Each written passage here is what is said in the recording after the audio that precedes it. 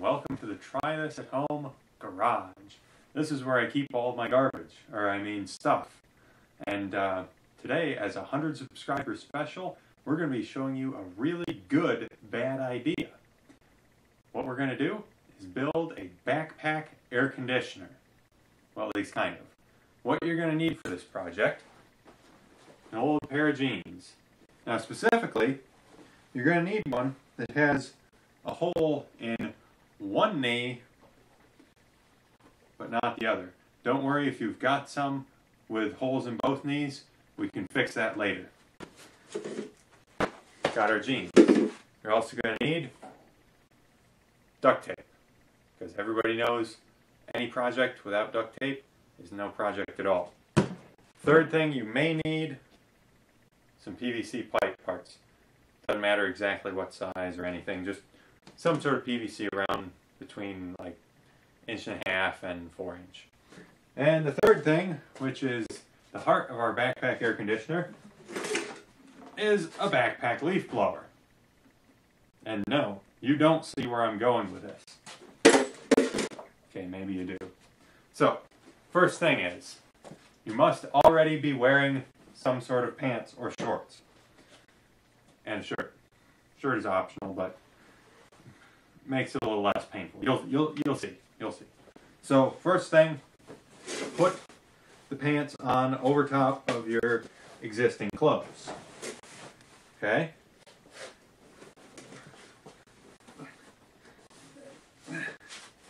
It helps if the pants are a little big. These ones are not. So, okay, there you go. Get, get everything readjusted there. Now your shirt. This is imperative. Shirt gets tucked into the pants. Okay, shirt tucked into the pants. Now, buckle the pants, zip them up. There's half your build done already. Second step. Attach the leaf blower to your back using the provided straps. Okay. See? Now, take this part and apply it. Uh, here, hold on, hold on. You couldn't see that. You couldn't see that. Here, let's just kind of uh, lower this down a bit so you can see what's going on. Okay, so yeah, okay, you can still see me there. Okay, this part, part where all the air comes out, take that in your pants where you got that hole in your knees. There. Now, you might say, that's going to leak though. It's going to blow all the air out here, blow all the air out here. There's air going to be coming out everywhere. That's what your duct tape's for. So, take your duct tape and uh, seal it, seal it up, seal it up good. Make sure, make sure it's not going to leak because uh, then you're you're not going to get the cooling that you need during the summer months. And same goes. This is a lot easier if you've got someone to help you. You can seal it up around your feet. There you go. Okay, and now see this side leave open because you're going to need air outlets. Some, some is going to come out through the top of your shirt. Some can come out there. Just you don't want anything coming out in between.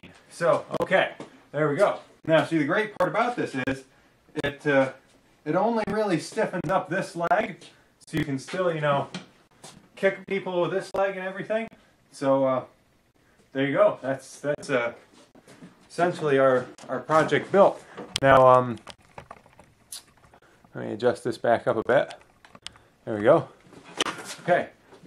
Now, you may be saying, but isn't that dangerous? Because you're you're blowing air directly onto your skin. You know what happens if you uh, were to want to use this on a beach or something? Well, I'll tell you this: don't do that because uh, this uh, air conditioner here uh, will act just like a sandblaster if you happen to walk through, you know, dusty or uh, sandy environments. So don't use it anywhere that there could be a potential of dirt or uh, anything in the air. So um, that's that's basically it. Then you just gotta start it up and.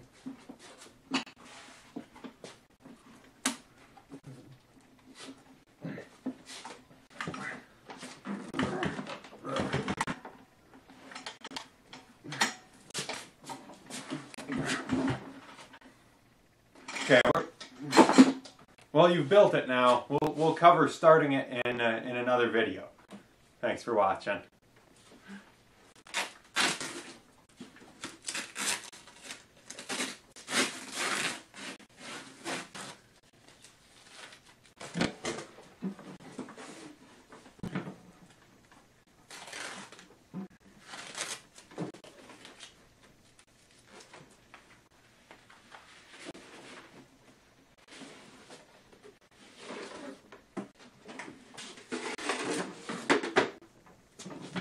Oh, and also, for all my subscribers out there, thank you guys very much. I do appreciate it, seeing that people enjoy my videos, so um, keep on watching, and thanks again.